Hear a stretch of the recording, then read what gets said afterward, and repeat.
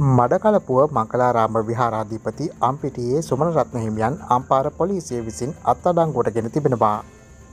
මැතිවරණ කාලයන් හිදී ප්‍රචණ්ඩ ක්‍රියා ඇති කිරීම ඇතුළු පෙර චෝදනා කිහිපයක් මත අම්පිටියේ සුමන් රත්න හිමියන් මෙලෙස අත්තඩංගුවට ගෙන තිබෙනවා.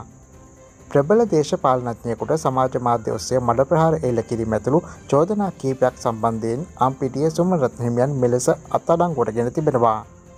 අත්තනකෝටගත් සුමරතන හිමියන් අධිකරණයට ඉදිරිපත් කිරීමෙන් පසු සැප්තැම්බර් හයවනතා දක්වා රක්ෂිත බන්ධනාගර ගත කිරීමට නියෝග කර තිබෙනවා.